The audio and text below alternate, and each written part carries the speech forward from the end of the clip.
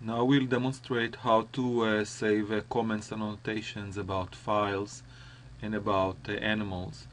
In general, if I want to open a file, a sound file of any animals, uh, I can look below at the sonograms, uh, change contrast, etc.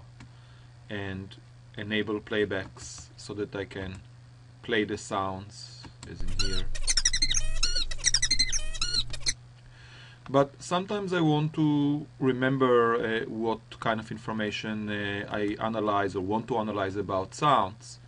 So uh, even uh, at the viewer here, it's quite easy to just to type a few comments. For example, first sound in the file in the folder, and just save them. And then as we keep going and write other things,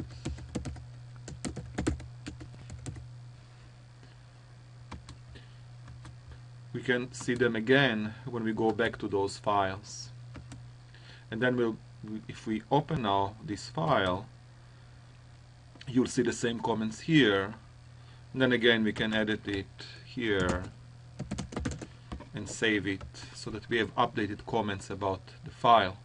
But notice that no information about the animal is available because we never uploaded anything about it so it's good uh, to uh, create uh, animal files um, in the tables. And in order to do that, uh, you know, the name of the files in the conversion of sound analysis names is always the beginning uh, of the file, in this case, uh, 467. So if we now click here, load animal, and make new animal, and let's call it and um, now uh, we can set whatever other information we need about the animal. It doesn't it's not necessary but we can write whatever we want. Uh, this file is from SEBS project.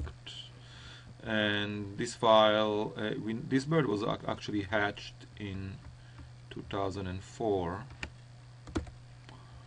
um, okay so now we click OK and notice now that the animal name and the age according to the file age, which in this case 123 days, appears already here. So every time you're going to open a file that starts with those characters, it will actually show us uh, this information here in addition to the information about specific file. So we have animal information and file information uh, all uh, available for us in order to open the right file and remember information uh, about them.